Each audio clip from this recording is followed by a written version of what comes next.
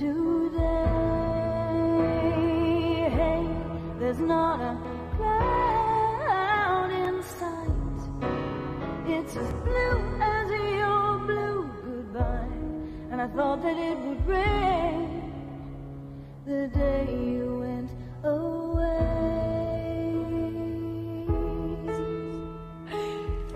That is, of course, Wendy Matthews with her ARIA award winning song, The Day You Went Away. Well, the singer and animal lover is also lending her voice to RSPCA's campaign to put an end to puppy factories, and she joins us now. Big welcome to Wendy. Now, Wendy Matthews, could you please explain to us? Can you explain what happens in puppy factories? Oh Lord, um, the some of the female puppies are put aside for um, breeding. Yeah. Uh, very very small. They have very very limited time with their parents. They're not taught anything naturally from their mothers. Um, the mothers are never let out of a very small cage that they can just turn around in. That's like nine, eight, nine birth cycles in a row. Um, and they have their babies. They mourn for weeks every time their babies are taken. Um, the babies, as I say, are completely unsocialized. They've never met their parents. The dogs, uh, the breeding dogs at the end of their breeding stages are in horrific conditions. Um, they're usually just put down, very seldom saved. And these tiny puppies go out into the world, into our homes, completely unsocialized, um, never having learned anything naturally. As, as a canine, they are not honored the way they're supposed to be living at all. Well, how do we know where the puppies have come from if you want to buy Some some uh, pet shops are, are ethically minded, Yeah. um, but they'll state that. Others um, basically, unfortunately, just buy from puppy mills. And I think basically what's important for people to know who buy at a puppy sh- um, at a pet store instead of adopting, buying instead of adopting. Um, these are dogs that are not socialized. These are creatures that you're going to have for 15 very important years of your life. And they're not, um, what's the word?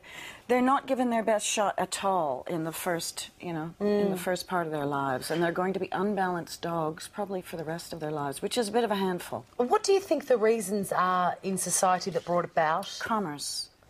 It's all about Really? money. I mean, yeah.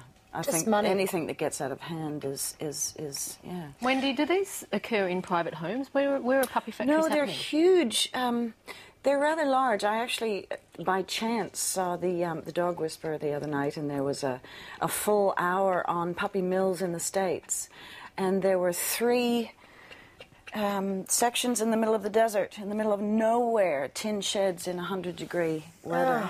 No, no air conditioning, no heating. Gets down to very freezing in the. Uh, no, they're they're it, regionally. They're in the cities. They're huge. They have a massive turnover of puppies, um, and two million dogs are put down every year in Wow. uh, in Australia. Wendy, are there certain breeds that are targeted for, for puppy mills? These little guys are very popular.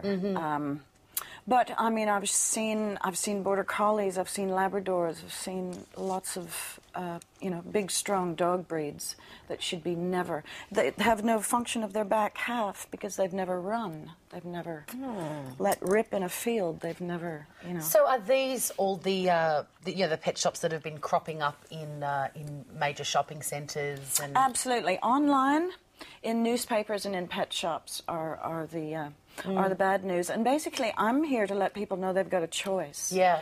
Um, not to say don't ever you know go to a pet store again, but you do have a choice as to whether adopt um, a healthy puppy that has known its mother and you know learned a few things And and, had love and socialized and had- exercise. exactly. and where will we where will we it. find these? Where are we most likely to find these pups? breeders, private breeders, um, people that state where they come from, anywhere where you can meet these little guys' parents and see what, what you're headed for. Sometimes you can go and, and meet the puppy when it's tiny and then come back for it when it's an adult, so when it's a- appropriate for it to be. that's leave right, and mother. that's healthy. These these tiny puppy mill dogs are taken way too early.